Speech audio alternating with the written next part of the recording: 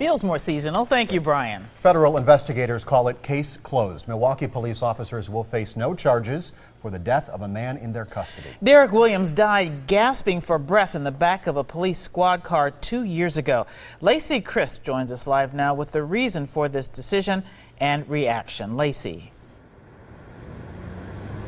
It was an emotional day for Derek Williams' mother. All along, the family had hoped the federal government would file charges against those officers who were there the night that Williams died. But the U.S. attorney said there wasn't enough evidence to prove the officers intentionally ignored Williams' calls for help.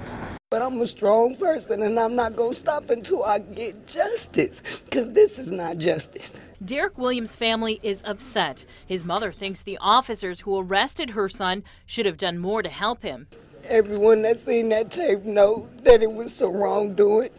This is the video that sparked a state inquest and launched investigations by both the FBI and U.S. Attorney's Office.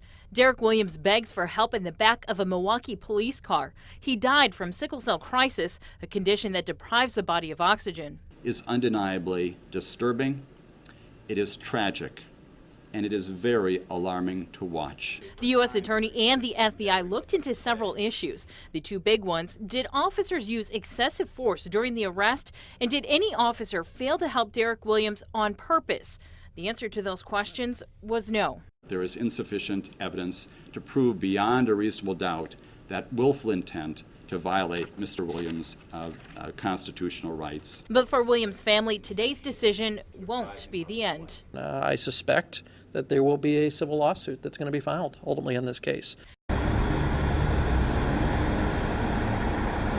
And this doesn't end the investigation into MPD. The U.S. Attorney tells me he's still looking into possible civil rights violations for MPD's patterns and practices. Reporting live in downtown Milwaukee, Lacey Crisp, today's TMJ4. And we'll wait for that. Lacey, thanks. We have new information on the